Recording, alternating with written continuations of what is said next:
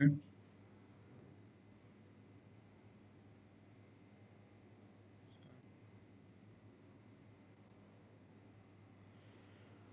morning, students. Welcome to today's ophthalmology class. I am speaking Dr. Nandan Kushum Das, Associate Professor, Department of Ophthalmology. Actually, today class is the schedule for Professor Moshe Thakur. Unfortunately, Uh, he was not available. He is busy with supplementary batch. So, I am continue my class Previously, I discussed about glaucoma in my previous lecture class. Now, today, I tried to complete my rest of glaucoma class. So, here, slide shows a scenario-like question. Very, it is important in case of uh, SAQ, especially SAQ. This like of uh, question uh, some examiner will give to in your question then you clearly understand and as question you should answer so question what about question a female 45 years lady comes to IOPT with complaints of sudden painful loss of vision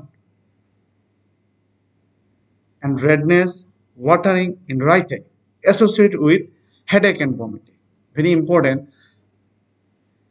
sudden painful loss of vision and redness associated with headache and vomiting. Headache, of course, unilateral headache. Then question arise, what is the most probable diagnosis? Your diagnosis is acute congestive narrow-angle glaucoma in right eye. Must you mention in right eye because in question short to you on right eye. So acute congestive narrow-angle glaucoma in right eye. How will you manage such a case? It is already discussed my previous lecture class. Then you write down as before. And treatment of fellow eye, which very important, very very important. Maximum student um, is misguided about what are the why treatment is fellow.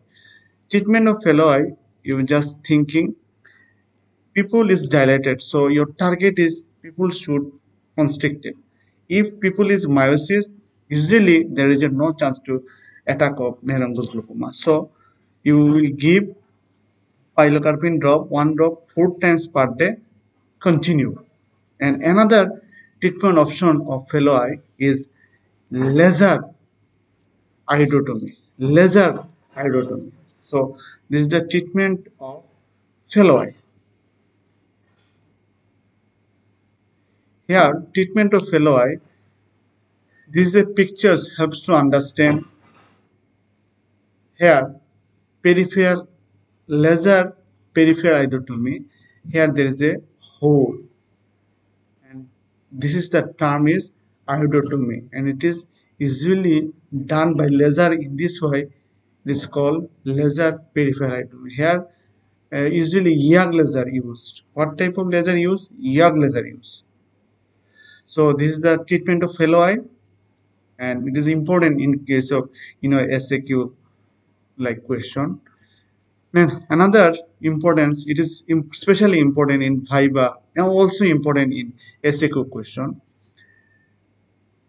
A patient suppose suffered from acute narrow-angle glaucoma and after six months come to IOPD and in your chamber uh, in ophthalmologist on ophthalmologist what are the signs helps to diagnosis? It previously attack of acute neuronal there is another particular term reminiscent or aftermath of previous attack of acute glaucoma so if examine if examining find there is a important findings may found in patients. What are the important findings of after math or previous setup of acute neuromuscular segmental iris atrophy very important glaukomflecken and force in Descemet's membrane and pigment dispersion. Eh, this force finding is very important I think everybody try to remember what are the aftermath of previous attack of acute glaucoma. Repeat my answer. Segmental iris atrophy, glaukomflecken, force in Descemet's membrane, and pigment dispersion. Okay. There is a, another important question to you, especially in MCQ. Suppose glaucoma found in primary open glaucoma. Answer is true or false. Answer is. Glaucoma particularly in acute neurological glaucoma. And another, uh, you know, there is a, some stages of neurological glaucoma. This is the final stage of neurological glaucoma. Term is absolute glaucoma. Usually it is painful blind eye and IOP is more raised and there is a stony appearance, stony appearance and on that situation, what will you do? And some examiners sometimes ask to you, if patients go to absolute glaucoma, what are the treatment? What are the treatment option? Treatment option, actually, there is a latest is, is uh, cryo. Cryotherapy is done on ciliary body. Cryotherapy done in ciliary body. This is the latest treatment. So, so cryotherapy done on ciliary body. This is the latest treatment. And if not a response by cryotherapy, patient continuous continuous complaint to doctor. There is a painful pain, pain, pain, pain. Then this is the last treatment option is enucleation. So if examiner asks to you what are the latest treatment of absolute glaucoma is cryotherapy. In cryotherapy, in what structure? Ciliary body. You know, ciliary body is responsible for production of intraocular uh, production of aqueous humor. So there is a chance to raise of intraocular pressure. If by cryotherapy give on ciliary body, what happen? Production is decreased and IOP is normalized. So this is a, in this way we we will give the treatment of absolute glaucoma by cryotherapy. There is a another written question and viva question, some examiner or in your SQ question, what name some secondary glaucoma? Name some secondary glaucoma. So you know secondary glaucoma may be open angle, maybe closed angle, but in your aspect, especially undergraduate level, just question is what are the secondary glaucoma? Important secondary, there is so many secondary glaucoma, but important important secondary glaucoma you should know. What are that? Lens induced glaucoma, neovascular glaucoma, a glaucoma associated with intraocular tumor and steroid induced glaucoma, traumatic glaucoma. At least important among five, three is more more important. What are that? Lens induced glaucoma, neovascular glaucoma, and steroid induced glaucoma. Now, what are the important lens induced glaucoma? Are phacolytic glaucoma and phacomorphic glaucoma. These are two important glaucoma. Maximum examiner asks to question what are the important lens induced glaucoma. Answer is phacolytic and phacomorphic glaucoma. Usually, when glaucoma develop by cataractous lens. Usually, in phacolytic glaucoma and phacomorphic glaucoma, both are responsible by cataractous lens.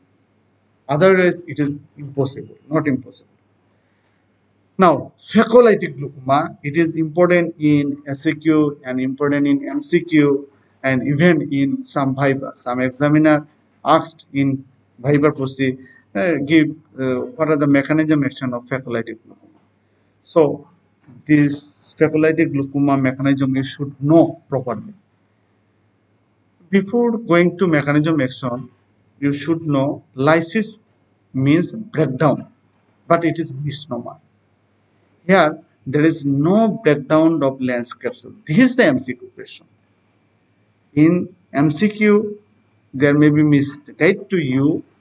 What are the, in case of phacolytic glaucoma, there is a breakdown of lens capsule. No, this is the false. So, you clearly, clearly know about there is a no breakdown of lens capsule. And mechanism action, there is a microleakage of lens protein and comes into aqueous circulation which are then engulfed by macrophage. Then this engulfed macrophage clog the trabecular meshwork and raise the IOP. Repeat my answer. There is a microleakage of lens protein and micro lens protein from where? From cataractous lens. There is a micro leakage of lens protein from cataractous lens and comes into aqueous circulation which are then engulfed by macrophage. Then lens protein containing macrophage clog. Clog means close or occlude, clog the trabecular meshwork. You know trabecular meshwork is poor. So clog the trabecular meshwork. So indirectly, ultimately aqueous humor drainage is disturbed, impairment, so raise intraocular pressure. I think you understand what is the mechanism of phacolytic glaucoma. Very important. Now another important is phacomorphic glaucoma. You're also responsible by cataractous lens, but you try to remember in case of phacolytic here, cataractous lens is responsible, but what type of cataract? Mature cataract.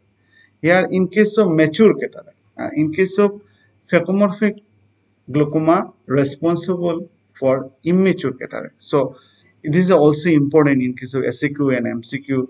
In case of phacomorphic glaucoma, which type of cataract is responsible? Answer is immature cataract. So, mechanism is when cataractous lens, especially in immature cataract, imbibes, imbibes means imbibes to fluid and ultimately lens swell swollen, swollen and obstruct the angle of anterior chamber. When in case of immature cataract, cataractous lens imbibes the water or fluid from aqueous humor and lens becomes swollen and obstruct the angle of anterior chamber. This is the mechanism action of phacomorphic glaucoma. So here phacomorphic glaucoma, what are what happen in angle? In case of phacomorphic glaucoma, angle will be. But in case of phacolytic glaucoma, angle not disturbed, either open or normal. So phacomorphic glaucoma angle is narrowed. Treatment of phacolytic or phacomorphic both. That is treatment of lens-induced glaucoma just your target to reduce the intraocular pressure. Now, question here, what type of anti-glaucoma drug you will choose for emergency or urgent reduce the intraocular pressure? there is another question here usually for urgent reduce the immediately reduce the intraocular pressure we will choose either injection acetazolamide or if acetazolamide injection form is not available then we will give oral acetazolamide and another is mannitol so sometimes examiner asks to you for emergency reduction of intraocular pressure what type of anti-glaucoma drug will you choose? Answer is injection from acetazolamide. If injection from acetazolamide is not available, then we will choose oral acetazolamide. And another is mannitol. After reduction of intraocular pressure, then we will go for surgery. What happened? What is the surgery? Removal of just cataract surgery eh? removal of cataractous lens by intracapsular cataract extraction with posterior chamber intraocular lens implantation. Cataract surgery with IOL implantation. This is the treatment. So, first target to reduce the intraocular pressure, then you will do cataract surgery. Okay, this is the treatment of lens induced glaucoma. There is a difference, very important. This is uh, not only important in uh, MCQ also important in SAQ. You try to remember difference between phacolytic and phacomorphic glaucoma. One portion is slide helps to show one part is phacolytic and another is phacomorphic glaucoma. You know, phacomorphic glaucoma occurs in mature cataract, and phacomorphic glaucoma occurs in immature cataract. Very, very important. And mechanism action, microleakage of lens protein and comes into aqueous humor engulfed by macrophage. This lens protein containing macrophage clog trabecular meshwork and raise intraocular pressure. Previously I discussed. And what the mechanism action of phacomorphic glaucoma? Cataractous lens imbibes the fluid and lens becomes swollen and obstruct the angle of anterior chamber. And what happened in in anterior chamber? The anterior chamber normal or deep in case of phacomorphic glaucoma, phacolytic glaucoma and phacomorphic glaucoma anterior chamber is shallow. What happened in angle? In phacolytic glaucoma, angle will be open and phacomorphic glaucoma angle will be narrow. So this is the important difference between phacolytic and phacomorphic. And another secondary glaucoma is neovascular glaucoma. It is relatively common and intractable condition occur as a consequence of new vessel formation in iris. So actually neovascular glaucoma, actual cause of neovascular glaucoma is retinal ischemia. Actual cause. You know, if there is a retinal ischemia, there is a formation of vascular endothelial growth factor. If, more and more vascular endothelial factor is produced, this vascular endothelial factor comes through vitreous, through lens and first hit on the iris and on iris there is a formation of new vessel. This particular term is rubeosis iris. Then this formation of new vessels on iris continuous grow into, into angle of anterior chamber. And this new vessel clog the trabecular meshwork and impairment the impairment the aqueous humor drainage and there is a there is a chance to raise of intraocular pressure and develop secondary glaucoma. This is the one mechanism. Another mechanism is there is a formation of new vessel on iris and new vessel continuously grown to angle of anterior chamber. There is a granulation tissue formation and this granulation tissue and new vessel pull pull the iris near the cornea and there is a angle is become angle become narrowed and this is another mechanism of formation of neovascular glaucoma. So main mechanism of neovascular glaucoma is main mechanism whatever cause retinal ischemia. If retinal ischemia, there is a vascular endothelial factor release, and this vascular endothelial factor, uh, vascular endothelial factor sweep through vitreous, aqueous humor, and first struck or hit on the new vessel formation of rubeosis iridis, and this new vessel continuous grow, continuous go to angle of anterior chamber. You know, angle of anterior chamber, there is a trabecular meshwork and clog the trabecular meshwork. So there is an impairment the drainage of aqueous humor. So indirectly increase the intro, increase the IOP. So this is the important mechanism action. And there is some cause of retinal ischemia. This is important because some examiner asks to you, you know, main cause of neovascular glaucoma is retinal ischemia. So what are the causes of retinal ischemia. If no retinal ischemia, there is a non-neovascular. So you should know what are the important causes of retinal ischemia. Important causes are central retinal vein occlusion, proliferative diabetic retinopathy, intraocular tumor, and chronic intraocular inflammation.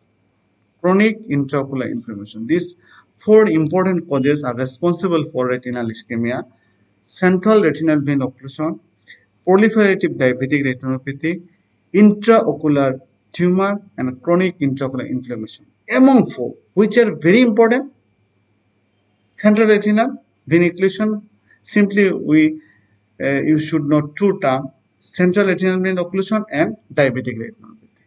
This one and two are the main cause of retinal ischemia and main cause of neovascular glaucoma. So if there is a retinal ischemia, there is a release of vascular endothelial growth factor and diffuses tiny new vessels grow from pupillary margin and proceeds towards the angle and insinuate the trabecular meshwork and raise intraocular pressure gradually. So main is retinal ischemia. There is a release of vascular endothelial growth factor. There is a new vessel formation on the iris. There is pupillary margin and this new vessel contours angle of anterior chamber where trabecular meshwork is disturbed and intraocular pressure is raised. This is the mechanism action of neovascular glaucoma. Treatment of neovascular glaucoma. Treat the underlying cause. Very important. If patient is suffering from uh, diabetic retinopathy, you should properly. Otherwise, retinal ischemia continuous increase increase and there is a neovascular glaucoma condition is flare out. And if retinal ischemia treatment is pen retinal photocoagulation, laser therapy. Usually, if retinal ischemia, you will give retinal laser therapy on retina. There is a, a retinal ischemia is cured and ultimately uh, decrease the vascular endothelial growth factor. And if there is ultimately glaucoma developed, then treatment is trabeculectomy with mitomycin C. You know, mitomycin C in others use others is use prevent the weakness of pterygium prevents the so, so if some examiner asks to what are the common uses of mitomycin C in ophthalmic pictures answer is one prevent the recurrence of pterygium surgery. And another is for for with trabeculectomy. Another option is trabeculectomy with trabeculectomy. Usually, the chance of chance of failure with trabeculectomy is more and more. So, if there is a uh, during trabecular surgery, if you give mitomycin C, there is a failure rate is reduced. So, in case of trabeculectomy, we will give mitomycin C. It helps to success rate. So, what are the treatment option of neovascular glaucoma? To treat the underlying cause, retinal photocoagulation, and treat trabeculectomy with mitomycin C. And very another important mechanism action is steroid-induced glaucoma.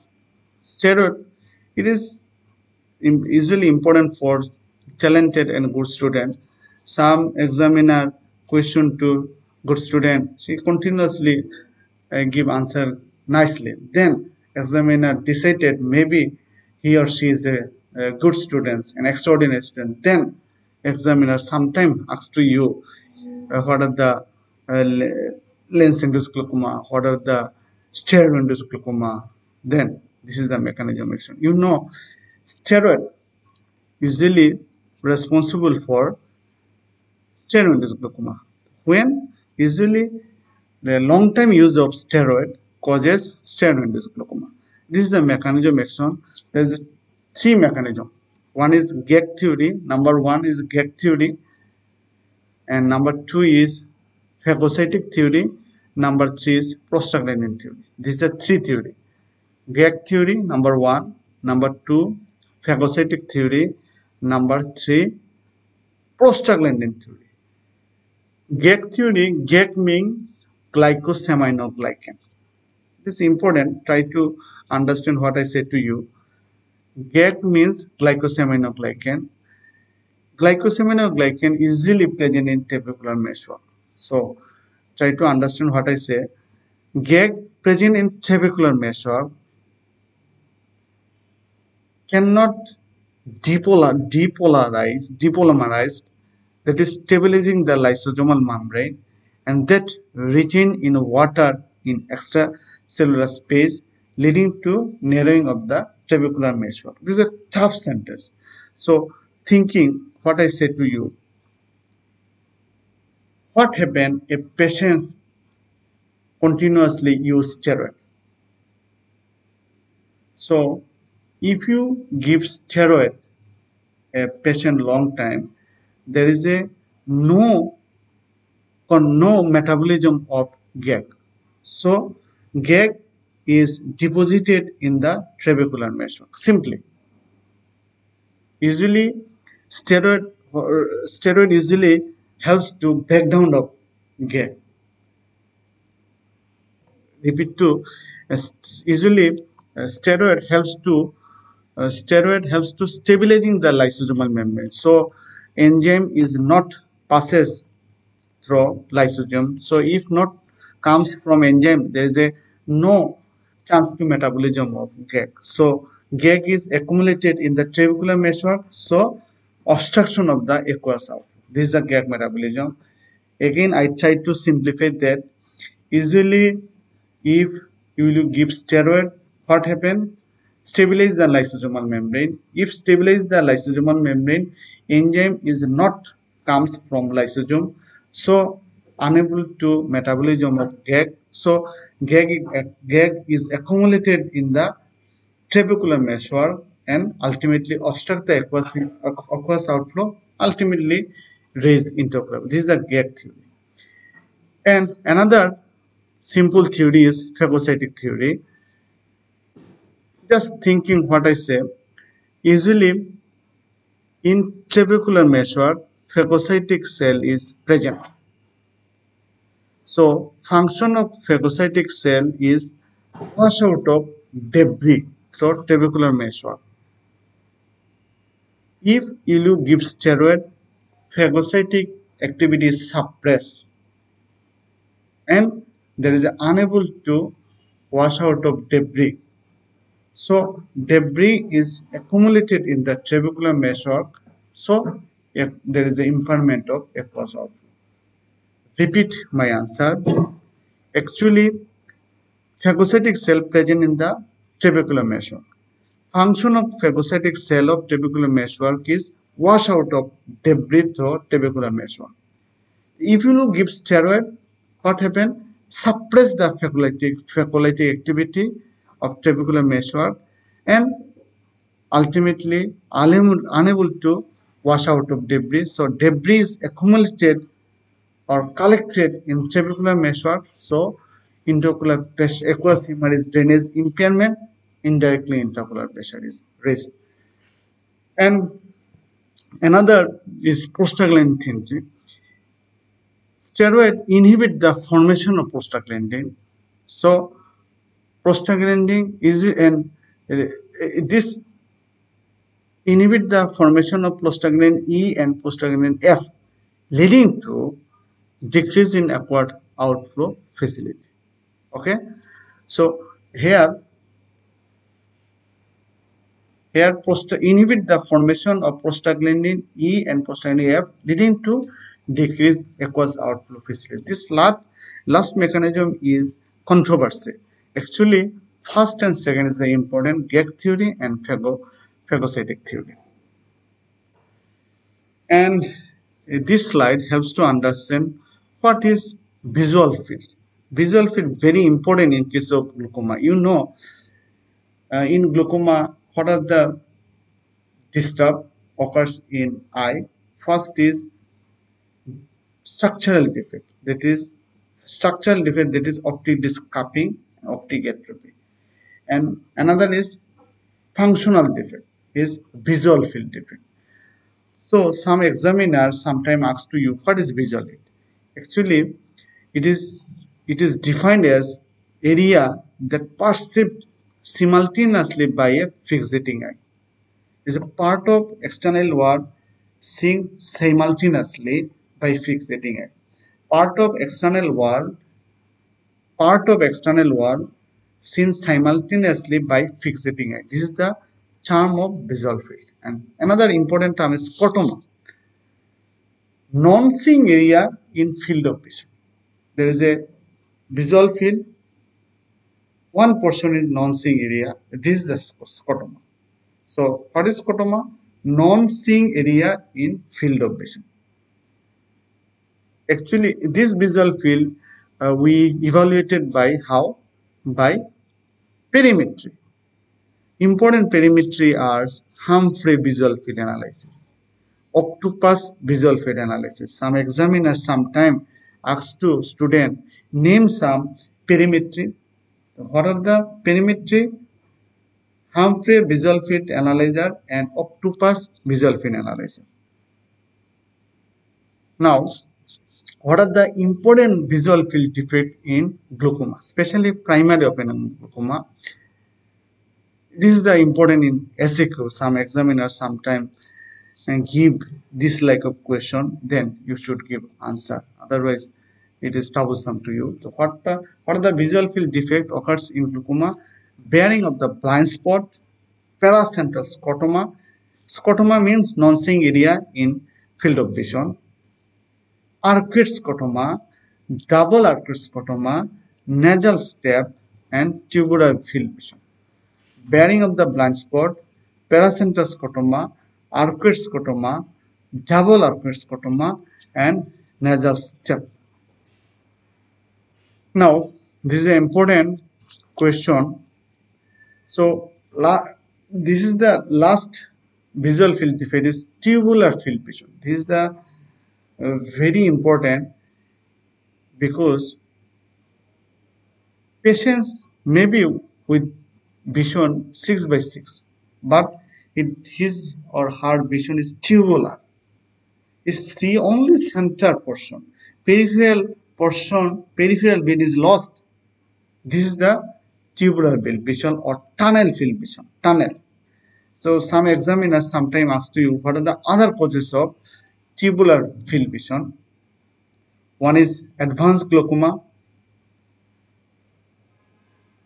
retinitis pigmentosa panretinal photocoagulation and pathological myopia advanced glaucoma you know retinitis pigmentosa panretinitis pigmentosa, panretinal photocoagulation, pathology. This importance uh, responsible for tubular field vision.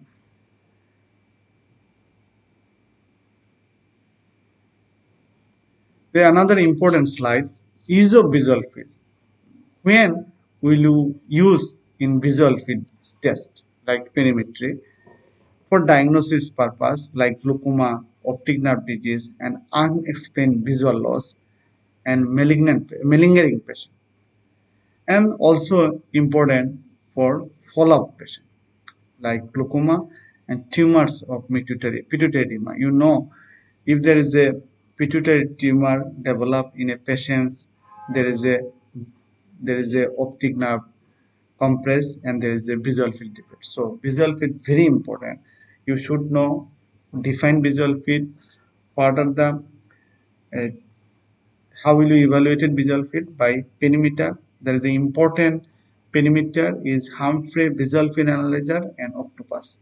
And what are the if what are the visual field defects in glaucoma you should know. And what are the other uses of visual field? Number one some diagnosis some follow-up. Diagnosis is glaucoma optic nerve disease and malingering etc and follow-up some patient glaucoma tumor. And glaucoma up to this i think everybody should understand what is glaucoma what are the types of glaucoma and uh, especially you should properly know acute congestive glaucoma primary open glaucoma and congenital glaucoma. These three is very important. And what are the anti-glaucoma drug? You read properly. And there is a some scenario like question is very important. And secondary glaucoma is important. So students thank you